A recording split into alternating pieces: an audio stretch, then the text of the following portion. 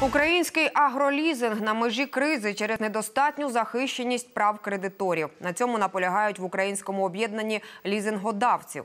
Протягом багатьох років лізинг був рушійною силою модернізації агросектору країни, адже кожен третій комбайн, вантажівка або трактор були профінансовані великими лізинговими компаніями, які вважали надійність агробізнесу основою ефективного інвестування. Так було до 2014 року, але тепер один з великих вітчизняних агрохолдингів не виконує своїх зобов'язань перед кредиторами. Зокрема, не виплачує грошей за оренду та не повертає техніку.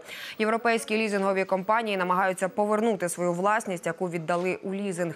Ситуація ставить під загрозу подальше інвестування в сільськогосподарську галузь України. Это случается везде, во всем мире, когда компания уходит э, э, в неплатежи. Проблема в том, что мы выйти из сделки не можем.